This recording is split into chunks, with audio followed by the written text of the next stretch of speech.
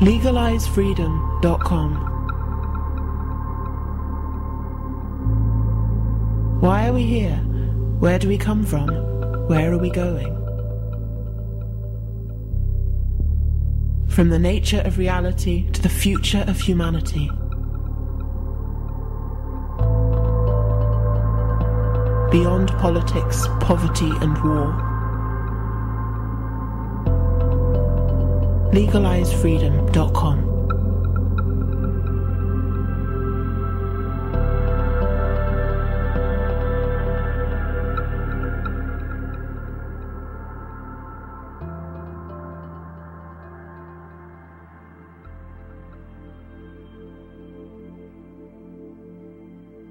Greetings and welcome once again to LegalizeFreedom.com.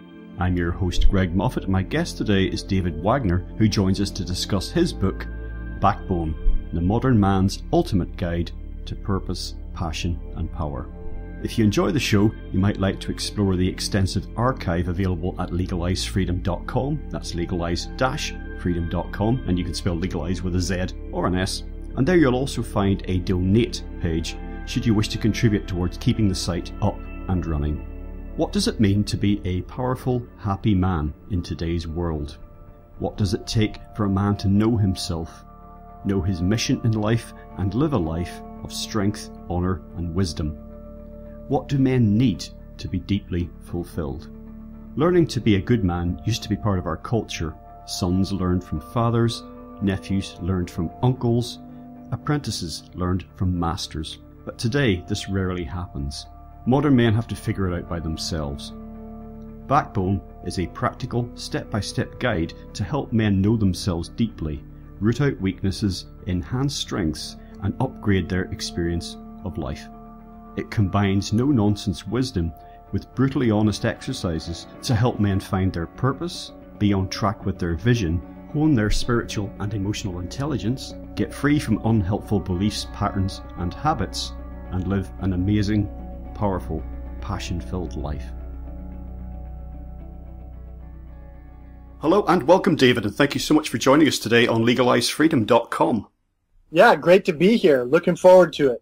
Excellent, David. Today we're going to talk a little bit about your book. It's called Backbone The Modern Man's Ultimate Guide to Purpose, Passion, and power. Before we dive into that, just tell listeners a little bit about your personal background, your work in general, and your, your personal story, because it's very relevant to this, because this is the book and your other work has emerged from your life, because you've really had to walk the walk in this respect.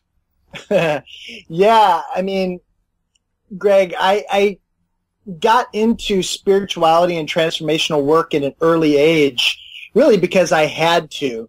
Um, I was into drugs and alcohol and um, was a pretty self-destructive, unhappy kid for you know most of my childhood and adolescence. I grew up in a small town in, in kind of the middle of the United States, and um, just through uh, uh you know several strokes of grace, I ended up getting clean and sober uh, when I was still in high school, and um, basically from my senior year of high school onward, uh, I, have I've been clean sober, but that launched me into the world of personal transformation and practical spirituality and all of the kind of stuff that you know these days is is what I'm all about. But um, yeah, it's been almost 30 years of just trying to live in a conscious way and pursuing um, you know, what I call an integrated spirituality, which is a spirituality that is not about an escape or um, avoiding life, but rather a spirituality that helps us be more excellent and engaged in our life in an excellent way. Now, I've never really been a fan of the category of self help when it comes to books or DVDs or whatever else it happens to be. But I mean, either. I guess if we went into a bookstore and, and found your book, it'd probably be with other, you know, with self help books. But in any case, whatever we want to call it, uh, you pointed out that there there's really been a revolution in this area uh, in the last few decades, and it's sort of gaining momentum. Really, it's just one of the big growth areas. Um, yeah. Again, I think I guess the, the, category in bookstores is mind, body, and spirit, isn't it? And that, that didn't exist uh, when I started started buying books, you know, back in the eighties. Um, yeah. But you point out rightly, this has been very female orientated, and there's you know, some obvious reasons for that. You know, we know the old cliche of women being more in touch with their feelings, yada yada yada. But there has been a, some fallout from this because it's not that you know this has entirely been a, a loss for you know the male species. But this female orientation has, how can I put it? It's not been very, it's not been very welcoming, uh, for men in many respects. Yeah. Yeah. I mean, it's interesting because just, and I'm, I'm just actually thinking this almost for the first time as I'm saying it right now. So forgive me if I don't articulate it that well, but, um, that's the assumption is the is the one that you said, which is that the reason why it hasn't been why there hasn't been more for men in the self-help world is because women are more predisposed to to you know being in touch with their feelings and that sort of thing. But right now as i'm thinking about it, i don't think that that's it greg because um, w- women might be more predisposed to to be in touch with their feelings but i think really what it is is that prior to the say 1950s, um, it was rare for women to do any kind of transformational work. Um, and and it's not that no one was doing it; men were doing it, and in particular, men who were like powerful men would seek out that which would help them to be more powerful and more effective. Um, I think that what it is is it's not so much that women are more in touch with their feeling. I think it's that women have been on this on this growth curve in terms of personal power since the 1950s, and they've just needed help. They've just needed stuff to help them to to know themselves more and to be able to overcome their weaknesses. Whereas men, um, we almost like kind of stepped back a little bit back then in order for that to happen. And so I, I, think that's what it is more than anything, you know, because things like spirituality and, and, you know, personal transformation work has been around since the beginning of mankind in different forms. And it was mostly men who did it up until the middle of the 20th century. And then as women started to get into it, that's where this whole industry has come out of. But I, I don't think it's because they're more in touch with their feelings. I think it's because that they've needed it. And now men need it. Like bad. We need it bad because we have like fallen so far behind. Um, and, and, you know, while our women that we're partnered with today have so many resources and really kind of have their shit together in a certain way, um, we're just getting kind of floppier and floppier. Well, it's interesting that you mentioned that perspective, actually, and um, I think you're right. Uh, I think back to when I think of self-help, you know, I think of the one of the sort of granddaddies of this isn't like Napoleon Hill, and uh, right. uh, you know, Think and Grow Rich, and that was very much exactly what you say about powerful men looking to optimize their uh, yeah. uh, their abilities. Think and Grow Rich was not written for housewives. No, absolutely not. No. Um, well, what we're going to do is we're going to walk through, as you said, about getting floppier and floppier. I do like that image, but uh, we'll walk through some of the problems we're facing, and then we'll get on to like, what the hell we're going to do about it. But one major issue that I've seen in my life, and it's been on the increase very, very much, uh, is this infantilization that's going on, particularly with men. I was watching um, a couple of things actually I saw when I was on holiday recently on the TV. It's probably the only time I ever put on the TV is if I'm in a hotel. Uh, one was the movie Master and Commander with Russell Crowe. And I was reminded that one of the young officer class who's been brought up and trained to be a future captain was, must have been about 10 years old in that film. Yeah. And I was reminded in, in centuries and millennia gone by, men were men when they were well, you know, basically it was puberty, wasn't it? That's when you started doing adult things, maybe even before. Uh, so that was something to, to ponder. And also there was one of these reality cop shows that was on, uh, sort of police porn, as I call it. And there was a, there was one episode, there was a couple of guys in it. One was 19 years old and he was giving a lot of shit to the cops when they were arresting him. And when he got down to the station, he changed his tune and he started crying and going on about how his mum was going to kill him. and I'm thinking, this guy's an adult. This is a man. He's 19. You know, even legally, whatever you want to call it. And there was another guy who uh, got arrested because his motorbike didn't have any license or insurance, uh, tax or insurance rather. And he was 32. And he was saying to the cops that his mum was going to kill him again. And he was living at home with his mother. And I just, again, I reflected on the differences, what a difference 500 years can make. Yeah. Yeah. Yeah. Thank you for that perspective. And thank you for reminding me of, of that movie. Um, you know, I'm in the process of producing a podcast of my own called the Whole Manchilada. and, um, and, uh, one of the, th- one of the features we're going to have is, the Manchilada media of the week because there's so many bad portrayals of men in the media of just like doofus dads and, you know, just, you know, kind of fuck nuts, you know. Sorry for, for the foul language. No, say, um, what, say whatever you want. Say it again if you like. okay. Anyway, so you know these shows where they're like these young guys that are just kind of, they're just fuck nuts. Anyway, so on the Whole Manchilada, we're trying to really feature different movies and TV shows and different media where they do it right.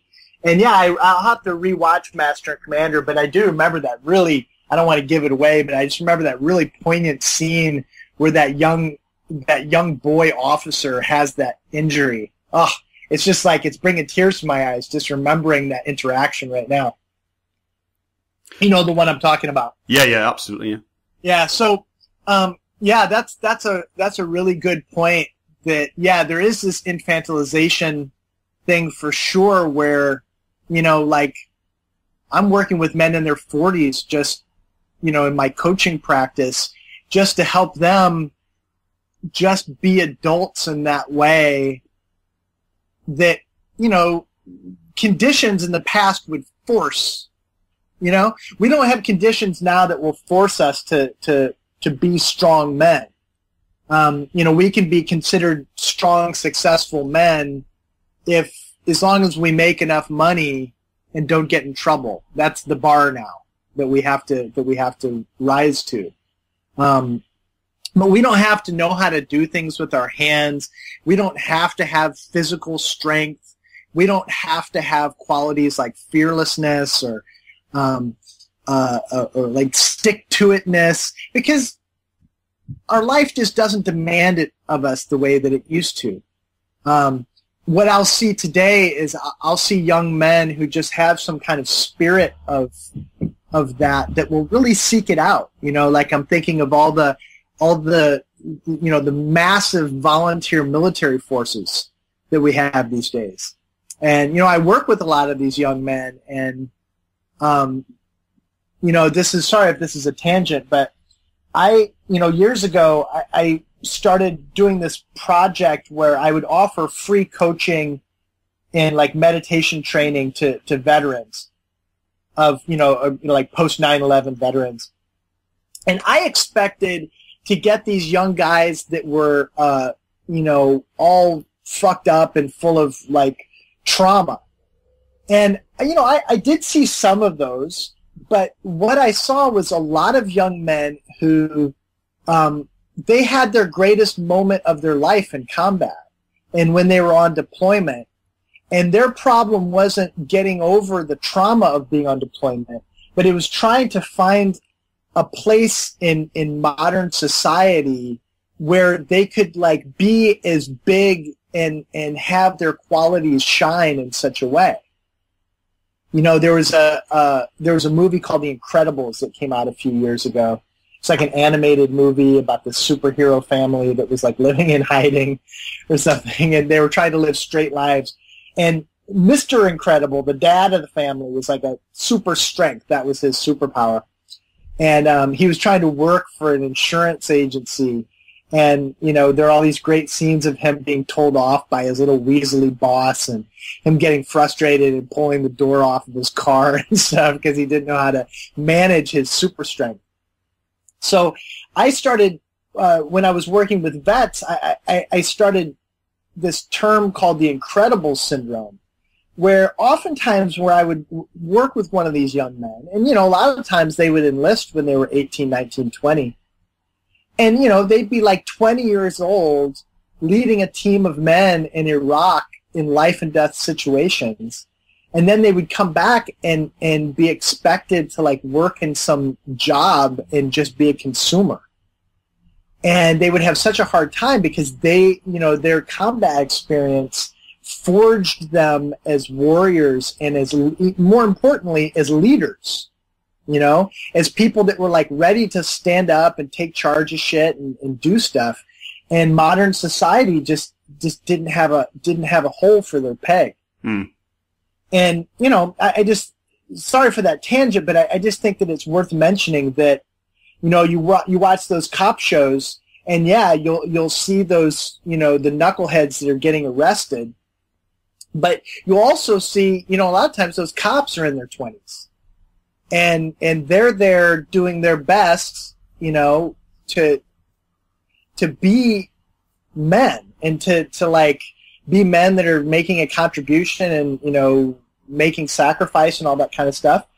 I- could, if they wanted to do some coaching sessions with me, I might be able to suggest some better options for them than going into the police hurling themselves into combat situations. But um, nonetheless, you know, the, that hunger in men is something that is innate. And, and so, you know, if, if you look for it, you'll see instances where it pops through the kind of modern malaise of, of, uh, of, you know, pussification, as one of my friends calls it. Pussification, yeah, I like that uh, phrase in your book. Well, this is this is very relevant actually. And it reminds me of like uh, another movie like First Blood. You know, when jo- John Rambo comes back and Yeah. he was saying like in Nam I was in charge of million million dollar equipment, and back here I can't even hold down a job in a car wash type Yeah. thing. Thinking of Rambo, one thing we should put to bed at this early stage is when we're talking about you know men being men and the best that they can be. We're not talking about some kind of macho bullshit here. We're not talking about uh, something that excludes men who are uh, effeminate or men who are gay or men who are skinny. You know, we're not talking about some cliche here. Skinny. Well, you know what I mean? Sort of like, I totally know what you mean. I was just like, I have kind of a visual mind, and so like, I, as you said that, I had like a little slideshow of like an effeminate man, a gay man, and then the the skinny man. Um, no, for sure. I mean, you know what I talk about in in Backbone and in my workshops and, and coaching and stuff is this idea of of the the the wild man archetype. You know, it's something I, I took from from Robert Bly, and what that is is it's so unique to every man. Um, it's just a man has to find out what that is for him, and for some men, it might take the form of something you know typically dangerous or typically robust, you know, like a military thing. But for some men, you know, I work with some men that have like they're they are being Rambo, and that's not true for them. What's actually true for them is their wild man is a hell of a lot more sensitive and spiritual, and you know, much more of of you know an effeminate sort of thing. But that is them expressing their wild man. Um, but yeah, for sure, the you know like in the book I talk about these universal qualities and universal uh, inner enemies that that men have to deal with, and um, the reason I do that is specifically for that. You know, like how I enjoy my masculinity and how I express myself as a father and as a leader and as a business owner and as a man in this world. That's for me, you know, and it's not going to work necessarily for any other man. I remember uh, when I was growing up, uh, my father wasn't around. It was my grandfather who basically became effectively my father. And I remember when my grandmother died, uh, my grandfather was, you know, obviously incredibly devastated by this, but it was almost one year after she died that I was in a room alone with him and he basically, he cried and he said that he really missed her.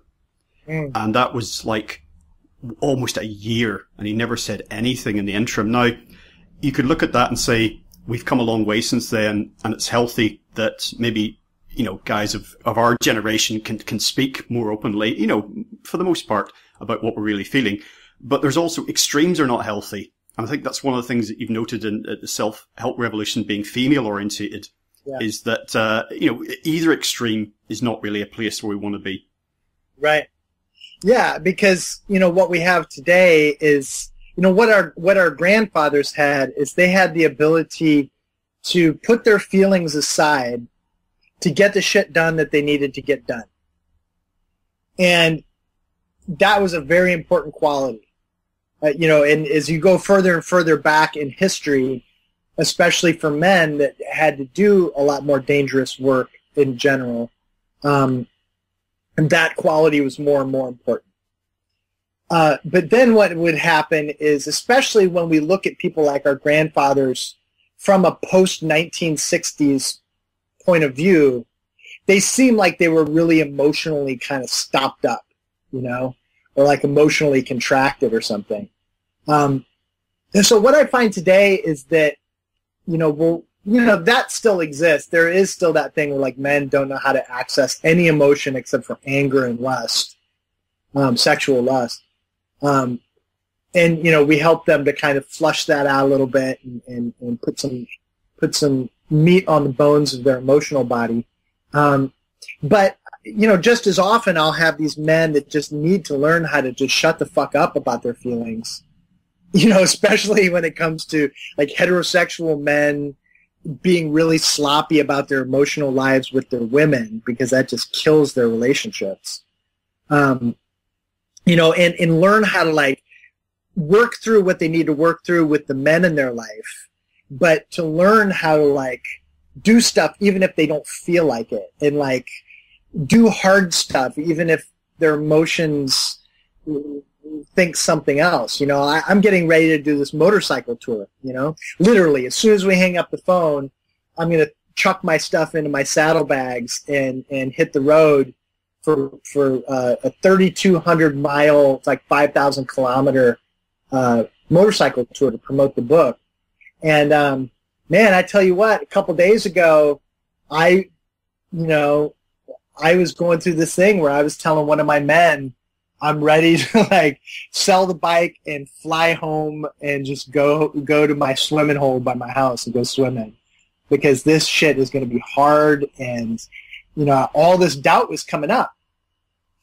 And um you know what what my brother had to say to me was you know basically suck it the fuck up. This is what you're doing. And it's going to be great. And if you weren't scared about it it wouldn't be worth doing. And you know and he was also really encouraging like you're going to help a lot of people and even if you you know he said in knowing you he said to me knowing you even if you just help one man on this whole journey you will consider it to be successful. And that's what I needed to hear, you know, my, my, my, uh, my partner, you know, the mother of my children, um, when I shared it with her, she was like, oh, baby, well, just know you don't have to do it if you really don't want to have to do it. You don't have to do, it. you know, that was her reaction. And that's not what I need.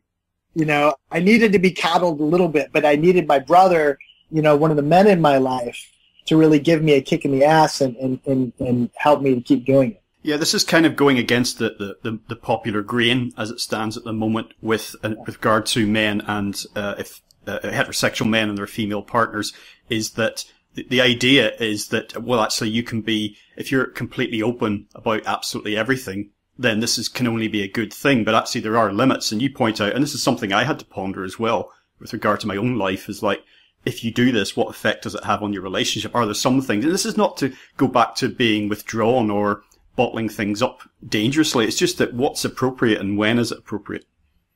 Yeah, I mean, yeah, for sure. You know, like it, not to get too graphic or anything, but um, you know, like our women don't share all the details of their menstruation with us.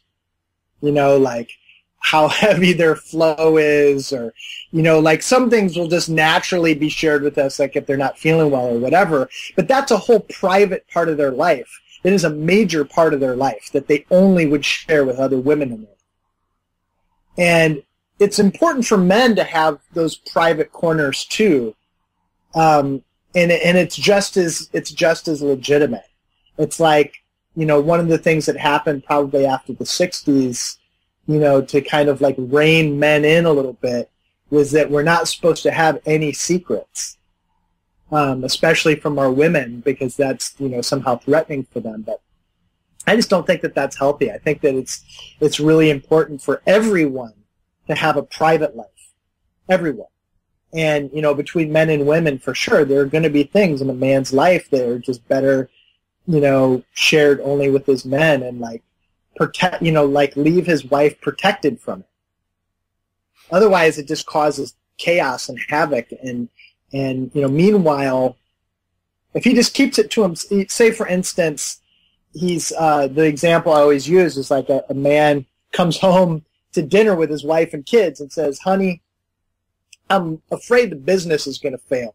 It's doing really bad these past few weeks, and I'm starting to have this terrible fear that it's going to fail. And if it fails, we're going to go in debt, and I just can't handle that. And I just feel like shooting myself in the head. I just, I would just kill myself because I can't handle it, you know. And like what that would do to the wife and kids, to like lay that burden on them. That's what one of the men's groups that I, am connected with calls uh, going home with a poopy diaper. As opposed to like if he just shares that with his men in a men's group or you know with a mentor or just with his with his trusted male friends they could just hear that and be like okay well you know i hear that. That must be hard and what are you going to do about it? And then he can like still hold all of that and he doesn't have to like keep it bottled up inside he can share his feelings but like my friend did for me about my about my tour doubts um, you know actually support us to share our feelings, but then also to take care of our business. One thing I notice it's a, a side effect of trends of the last few decades. I'm thinking back to that cop show I mentioned earlier. Is I see this. I mean, you can see it on a Saturday night if you go downtown. It's young men lashing out. It's this yeah. random violence, yeah. um, and it's coming from a place of insecurity and yeah. fear. I mean, they don't know what they're supposed to do. And maybe they haven't even intellectualized this. Maybe this thought has never crossed their mind. But I think that's where it's coming from. And you even see the old, uh, cliche was that, you know, when you became a father, for example, that you'd really grow up, you know, then you'd be a man. It would be the making of you. But I see young guys uh, walking along with, with young girls and there's a, you know, the stroller there and a, a couple of kids in it. And becoming a father has not been the making of them at all. They're just as likely to go downtown on Saturday night and lash out at some total stranger because they don't know what they're supposed to be, what they're supposed to do. They're not having that, uh, they're not getting this uh, handed down to them. As you point out, it used to be a generational thing. Yeah, for sure. And where, where are you there? Where are you? Um, right, right in the middle of England in, in Yorkshire. Yeah, so there, there, there's a different kind, as I understand it. There's also a different kind of like that young male aggression and the sort of football hooligans and all that kind of thing. Um, it's even more corked up in the West.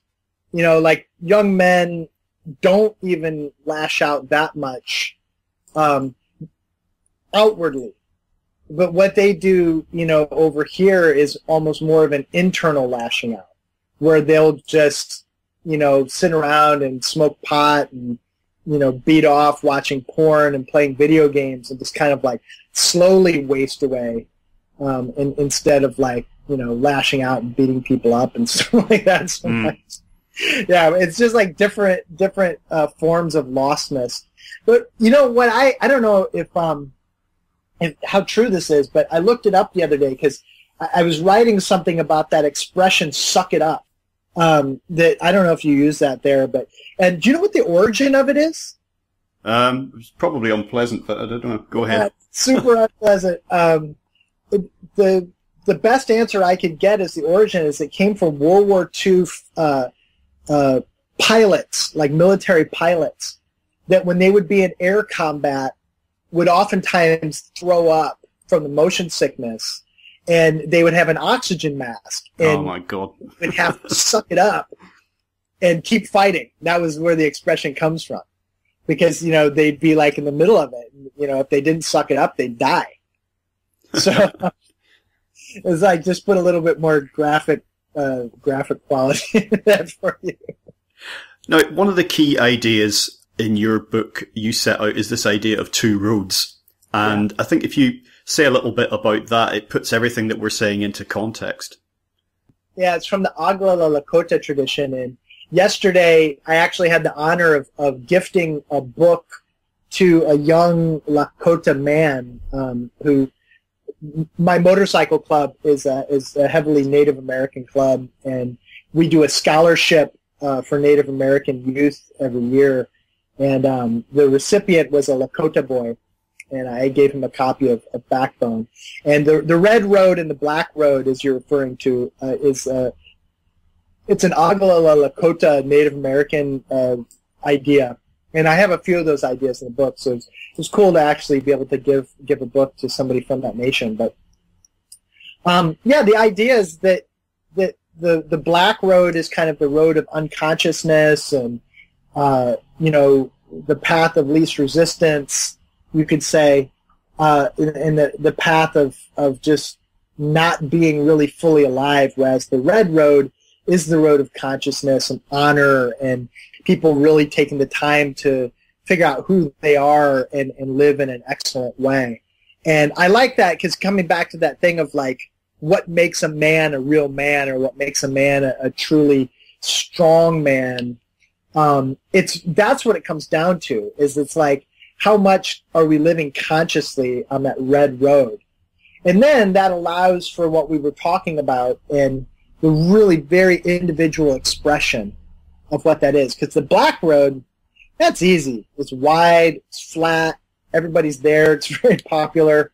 Um, you can sleepwalk down the down the black road, but the red road, you have to be awake. You know, it's it's like a narrow, winding path that that changes all the time. And what's a red road, you know, like a conscious choice for you today, can turn into a black road, unconscious choice in you know in a year.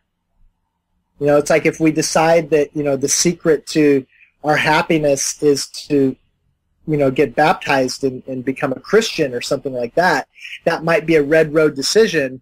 But then pretty soon we fall into the dogma and just the unconsciousness of being part of a part of an organized religion that does all the thinking for us, and we ended up back on a different black road again. So yeah, thank thank you for mentioning that. It seems easy, doesn't it? Uh, on the face of it, the Black Road. It's kind of like you don't really yeah. have to do anything. You don't have to try. You just kind of go along to get along. But it's it's really not in the long run, is it? I mean, there's a great expression you have in the book, uh, "suicide by installments." Yeah, yeah. I mean, that's it. It's like the Black Road is easy on the front end, but really hard on the back end. Whereas the Red Road is almost the opposite. It might take some more effort now, but the but really the prize of it is is you know a glorious life and and an honorable death. And the media is culpable here as well, isn't it? Because I mentioned at the top of the hour about you know the, the macho cliches that when you some of the you probably run up against this yourself when you're talking about some of these things. The media always likes to have a bit of conflict and to polarize things and yeah. so they might cast someone like you as sort of, oh yeah, this guy who says that, you know, we don't want to be in touch with our feminine side and all the rest of it. And that, that means that we have some of the trends that we've described have been encouraged by the, the culture at large, you know, in terms of infantilization, in terms of, uh, you know, men wanting to be not distinct from women whatsoever. You know, really there, there's no difference between us, you, you know, etc. Of course there are, you know, on, the plus and negative sides. That's just the way things are, and it has always been. Yeah, definitely. Yeah, it, it's like the, that's what I'm trying to kind of awaken. Is, is this idea of really being proud to be a man? You know, men, especially especially white men, they're like they're like the new sort of shameful minority or something. Whereas like there's like this automatic assumption that there that there's something bad about us. And what I'm into is like men really being proud of being men and like pride comes when we invest in something. If we really invest in in whatever it is, whether it's our our dog or you know a car or a project and certainly ourselves, you know, pride comes when we really put the effort into something, invest in it until it really shines and it's just the way that we want it and it's got a, that quality of excellence to it, then we can really hold our head up about it, you know? Um, and that's what I want men to feel about their manhood itself.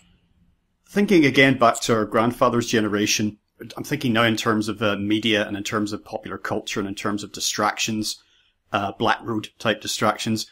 50 to, you know, 100 years ago, uh, would have been the woman of the house, for example, who uh, would have had perhaps some interest in uh, celebrity culture, you know, who was in the uh, popular press when movies came along, you know, who the movie stars were, um, what was in the stores, you know, what were the new items that you could buy. There's nothing wrong on the face of it with any of that. Okay. I have an interest up to a point in what the new consumer gadgets are. I have an interest up to a point in what, what celebrities yeah. are doing, you know, but men now, uh, particularly young men are as likely to be uh, when we think of this in terms in negative terms as likely to be swallowed up by consumerism and celebrity culture as anyone else. Yep. Yep. Yep. And and like celebrity culture and and what I see even more than that is just like really kind of empty social media stuff.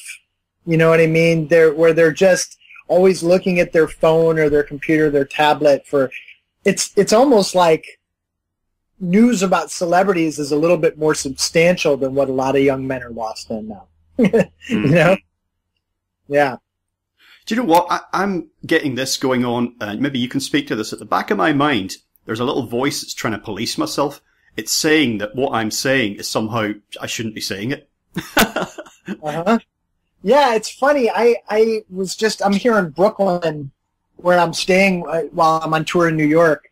And, uh, in a particularly kind of liberal enclave uh, of Brooklyn, and the place where I get coffee, um, there was a there was a young woman and a young man behind the bar, and somehow we started talking about the smell of bacon because it smelled like bacon in the cafe and it smelled really good, and uh, the the young man said, "Yeah, I heard about this these things called mandles. They're scented candles for scented candles for men, and there's a bacon the bacon smell one."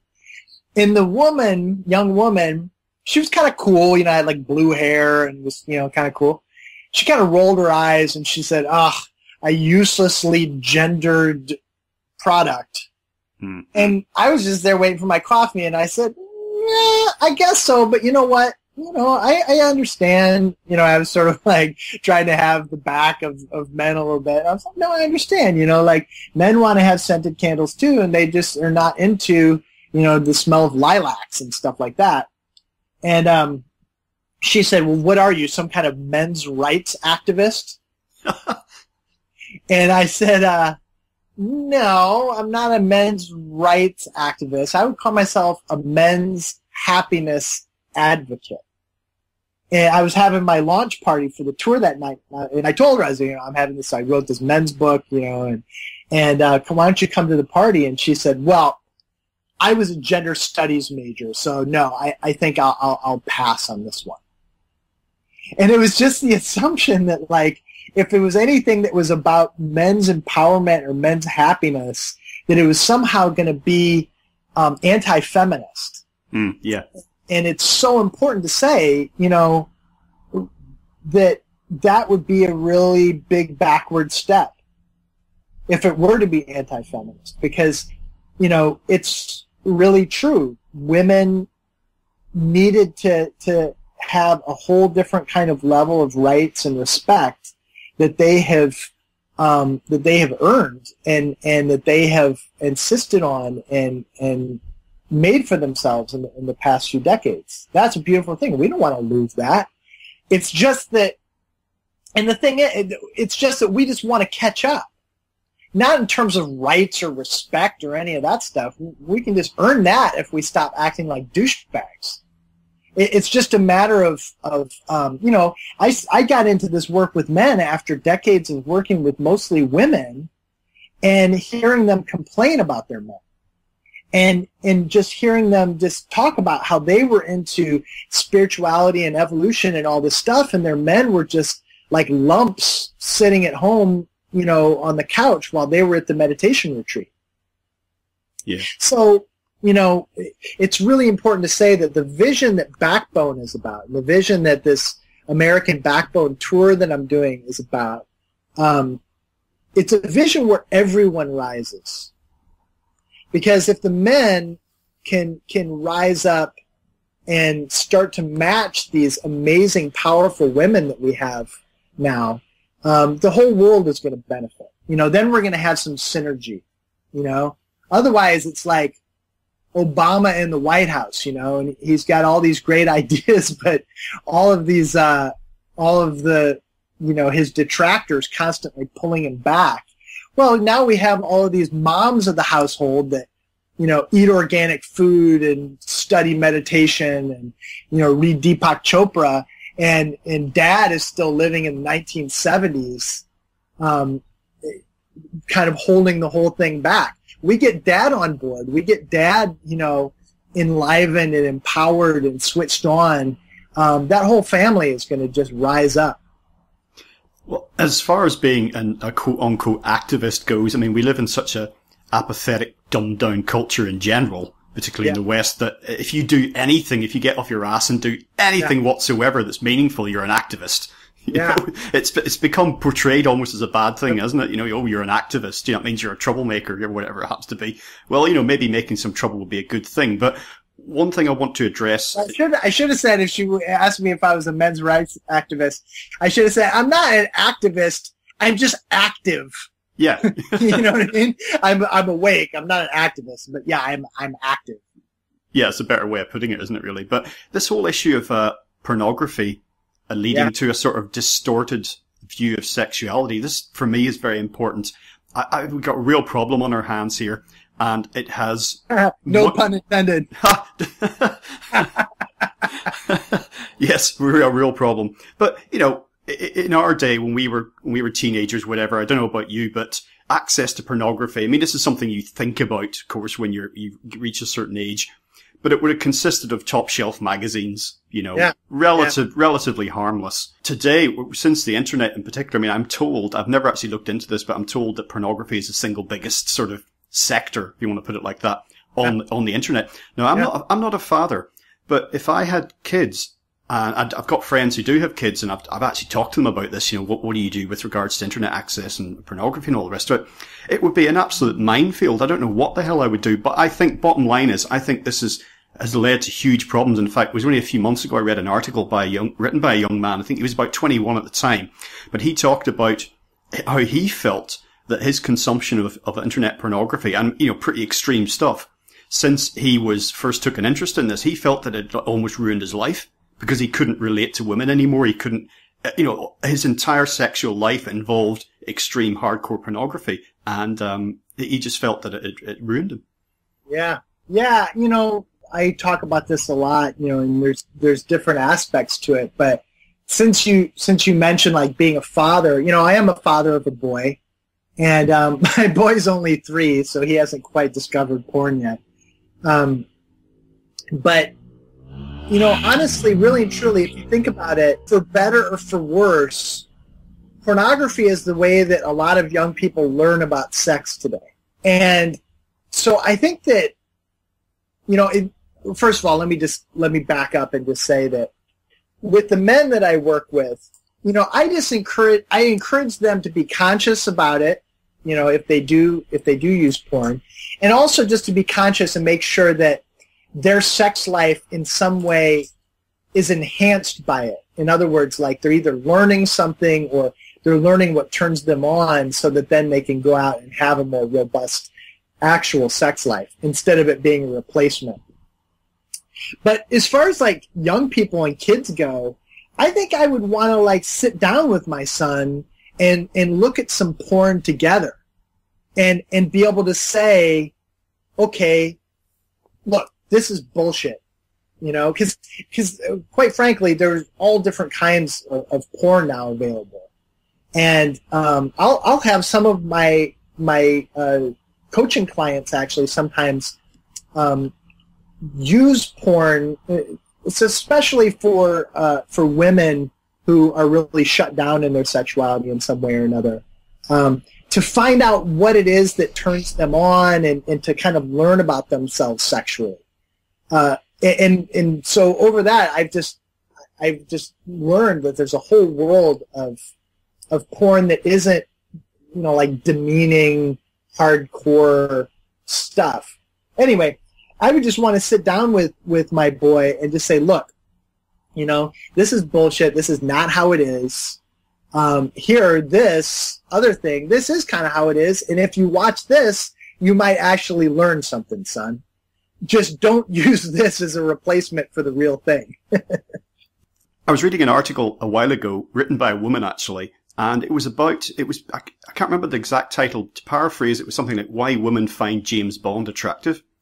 Uh, now, when I look at the character of James Bond, I don't think him as particularly, you know, wholesome or attractive. Not somebody I'd necessarily like to be like. I'd like some of his super skills, um, yeah. in certain areas. But she made an interesting point that even if you look at the character of James Bond and think, think this guy's basically a psychopath, her article said, well, what is it that, that gets some women excited about this, this guy? And she, the stuff she picked out was actually not the stuff that you think about abseiling down the front of, uh, you know, foreign embassies and taking out bad guys with a pencil and all that other stuff. But it was like, he knows how to dress. Uh, yeah. he knows how to look after himself. He knows how to cook.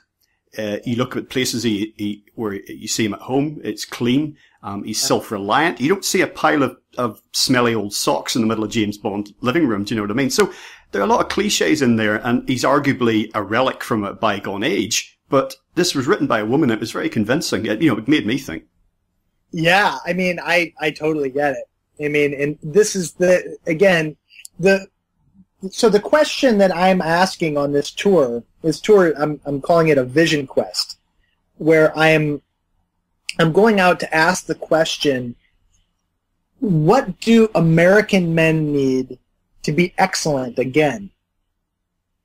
Because I'm in America. I mean, I work with men all over the world, but this tour is in America. So, um, because there was like an, an excellence you know, in bygone era. And of course, there's all kinds of, if you look at it from a political point of view, um, yeah, there were, you know, whatever, bigots and slave owners and, you know, like rape the ecology and everything else. But mm. that said, um, yeah, it's like, you know, my, my old neighbor Tom, who's like 93, uh, he can't even barely walk but man, he does not go out of the house without a shirt on and his hair combed. He wouldn't think twice. He, he wouldn't he wouldn't imagine going out in public for dinner with his wife uh, without his shoes being shined. You know, and it's not because he's a neat freak, because it, th- there's just something about a level of self-respect and again that consciousness. That's really what the Red Road is like.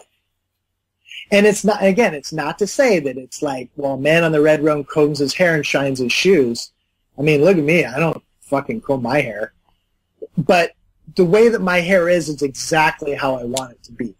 Hmm. And I've like consciously decided that no, what what my thing is is, you know, I wear motorcycle boots and grow my beard because that's what I feel like is beautiful you know, from in a masculine way for me. Um, but yeah, I, I get it. You know why you know the the James Bond character or um, you know one of the Manchilada Media things for for my webcast is um, there's a HBO series called Deadwood about uh, Deadwood, South Dakota in the like 1840s, and um, there's this one particular character Seth Bullock, who's who's like a sheriff, and he's played by Timothy Olyphant.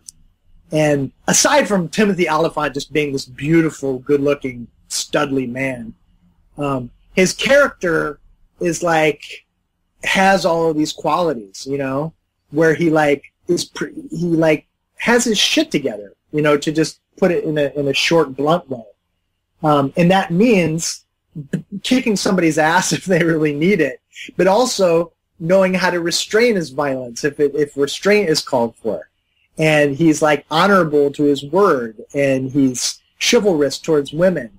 And, you know, he's like someone that you can depend on because he's a solid man. And that's what women are turned on by more than anything. And what they're turned off by more than anything is when they just feel like they can't trust us. Not because they think that we're going to like screw around on them or have an affair or something like that.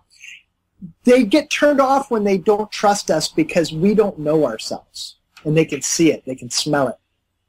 And they can just smell that like, you know, we don't have a backbone.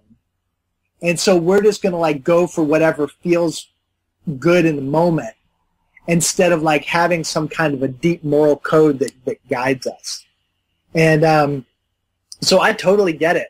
And, and, you know, most of them wouldn't admit it, especially when they're getting into a relationship. They want a man that they feel like isn't going to have any secrets, isn't going to give them any hard time about anything, isn't going to give them too much of a fight, isn't going to like be like flirting with their girlfriends and not going to be sexy enough for their girlfriends to want them to flirt with her. That's what they think they want. but actually, then once they get into the relationship and everything just falls flat and that, you know, nice guy that they got in a relationship with has turned them into their mama, then they start looking for James Bond. well, polit- political correctness has got a, a role in all of this, hasn't it, really, to the point where um, holding a door open for a woman can be seen as an insult. Yeah, yeah, sure, yeah, of course, and you know, it's just like holding the door open for an old person or something. You know, it's like it's just something about. Um, I believe that a man of honor just has an awareness of his surroundings and has an awareness of he has a responsibility to look after others around him that are weaker than he is in different ways. So not to say that like a woman is weaker than he is or, or an old person is necessarily weaker. I, again, like I, I myself am hearing that little voice of political correctness. But you know what I mean? It's like, it's up to him if there are kids around he's an adult in the room. He has to look after those kids. It doesn't matter if there's somebody else's kids. You know, if there are, you know, women or old people or um, handicapped people or just who, whoever, he has something to offer to. He needs to offer it. That's what I believe. And, and not, and it's not a moral thing. It's just that as I coach men and, and I encourage them to do that work, and to start paying attention to stuff like that. And just even as simple as just like saying please and thank you and meaning it to strangers, um, they start to feel better. There's an energy that comes into them when, you know, they're walking down the street with the awareness of this street is my world and this world is my responsibility. And so if there's a piece of trash there, if I can pick it up, I should pick it up. And if there's like, you know, a bully picking on somebody, that, and I have the potency, I have the power to do something about it, it's my responsibility to step up for that person that's being bullied. And, you know, there's just something about that that just puts like a new life into a man once he starts realizing that potential. Well, I just want to say a word also about nature in all of this, and this is a key thread runs throughout your book as well in terms of uh, disconnectedness from nature, yeah. and this is very important. And again, it's one of the sort of buzzwords of our of our age, you know, like getting reconnecting with nature, because you know most of us are now living in cities, and that's a trend that's increasing, and it's a man-made environment, and even the nature that's there in terms of green spaces and trees has all been laid out. And this is something again going back to for, former ages, other times when we wouldn't have been so connected with nature. In fact, we've been intimately involved with it on a daily basis. And there's something in here as well in terms of getting in touch, you know, with who you are and what you can be. And, uh, you know, nature can form a very important part of that. Yeah, for sure. And, you know, it, it actually it goes back to my previous point. You know, like in, in in the Lakota tradition, in any of the Native American traditions, or pretty much any indigenous tradition around the world. But especially in the Lakota tradition, they have this uh, this phrase that they'll say when they're doing a sacred ceremony or like a sweat lodge or something, "Aho mitakuye oyasin," and mitakuye oyasin means all of our relations. And what that refers to is in that worldview, a tree isn't just an object on our land. That tree is like our brother. And that land also isn't an object. That land is our mother. And so then a man in that, in that worldview, however fierce they are, even if they're like the fiercest warrior, they have this, this sense of responsibility towards the natural world, um, of, of honoring it and taking care of it as something that like, you could say is weaker than they are because that tree, um, it can be cut down by an insensitive person. You know, the, the land can be spoiled by a bully, you know, that wants to like use it as a dump. And so, you know, there's definitely, there's the connectedness, but then there's also that quality of, of standing up for, uh, standing up for the, for the delicate things in life that I believe is really part of being a strong man. Just in closing, David, um, towards the end of the book, you've got an entire section on really, you know, what the hell we're going to do about all this. Should we find ourselves? It should we recognize ourselves in any of what we've been talking about? And it's, it's dealing with the bullshit basically. And that, as you point out, can be mental. It can be physical. You've got a whole section, what you call life bullshit. And that's uh, the point where this all comes together. And you've got a, you know, a, basically a plan, uh, for, for, for dealing with our bullshit and, and how we can move beyond it because our bullshit, you know, as, as I call it, um, in, in kind of a crude way, I suppose, um, because it has so many facets to it, in general, I like to work with people in, in kind of an in-depth way. So, and, and whether I work with them or they work on their own, it's going to be a journey.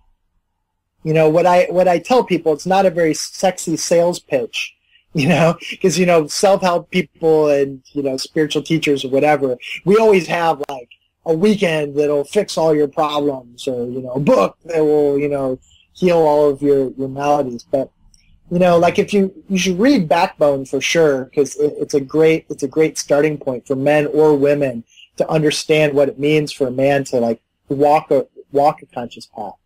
But then be ready for a process, you know? Like when I when I coach people, you know, I, I like to coach them in six or twelve week increments because that gives us time to actually, you know, work through some stuff, go practice it, come back, report, work with some stuff, you know, go out, work with it, come back, and and then that really deep kind of transformation can happen.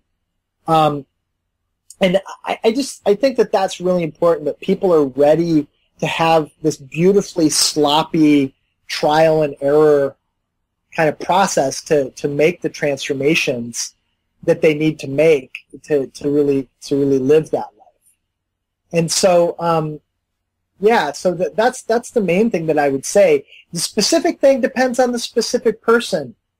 You know, some people need need a certain kind of path and other people need to walk a totally different road um, towards their transformation. But that is what I say is don't be, you know, don't expect for something to just be a quick fix. Now that said, you know, a lot of men especially do have a commitment issue. And so, you know, they're like six weeks of coaching. I don't know if I can commit to that. so I, I do this what I call a cage fight option where a man can sign up to just do one hardcore session with me where it's not like they're cage fighting with me, but he and I are cage fighting with his bullshit and just knocking through as much stuff as we can in that time. And it, that is effective provided that he takes what we do in that hour and then works with it. Um, but oftentimes what happens is, is we'll do that cage fight and then they'll be like, you know, calling me back, you know, a week later and being like, can we do that again? because you know it takes it takes some time you know like it takes some time to unfuck yourself. Because if it's just like one little thing that we have to work on then we can do that. But usually we're fucked a little bit. Like there's all these different aspects of our life or of our of our manhood that need adjustment um, that's what I, you know, so graciously refer to as being fucked. and so, like, if you're going to unfuck yourself, it, it, takes a minute. And, and so, you know, people have to be prepared to walk a road. David, today we've been talking about your book. Just to remind listeners, it's called Backbone, The Modern Man's Ultimate Guide to Purpose, Passion and Power. You've mentioned that you do workshops, you're about to hit the road on tour. Um, tell folks about any of that, the website, just anything you'd like to share. Yeah, you can you can see details about what I do on davidhwagner.com. Don't forget the H in that, davidhwagner.com. Um, you can follow me on Facebook. It's also David H. Wagner. Instagram, it's men's underscore revolution. Um, Twitter, David H. Wagner. Um, I'm, I'm going to try to update everything that I'm doing on the tour on there. Um, we have a, a, mentor training program for men that's happening this year. I'm really excited about that. It's a nine month long intensive program for men to learn how to actually coach other men. Um, and, you know, I'm always doing weekends and, and, you know, different workshops around. So just check out the website, check out my social media, and uh, get in touch. Excellent. Well, David, thank you so much for joining us today on legalisefreedom.com. Thank you, Greg. This is a great interview. Well, folks, that's it for another week. As ever, thank you so much for listening. If you enjoy the show, please check out the website. That's legalisefreedom.com, legalise-freedom.com, where you'll find an archive of programs offering alternative views on a wide range of topics, including world affairs, politics and economics, science and technology, religion and spirituality, conspiracy, and alternative history. You can also browse and buy a range of books and DVDs from our guests, and if you're feeling generous, make a donation to help keep the site up and running.